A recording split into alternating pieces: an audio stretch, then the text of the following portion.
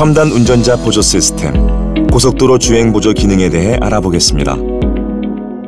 전방에 차량 및 차선을 인식해 작동 가능한 도로에서 앞차와의 거리와 운전자가 설정한 속도를 유지하며 차로 중앙을 주행하도록 도와주는 기능입니다.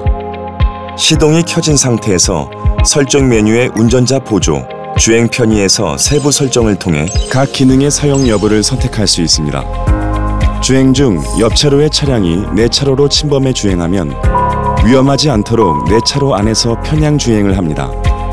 고속도로 차로 변경 보조를 선택한 후 운전자가 스티어링 휠을 잡고 차로 변경 방향으로 방향 지시 등 스위치를 움직이면 옆 차로에 근접 차량이 있을 경우에는 차로 변경을 진행하지 않다가 근접 차량이 없을 경우에 차로 변경을 합니다.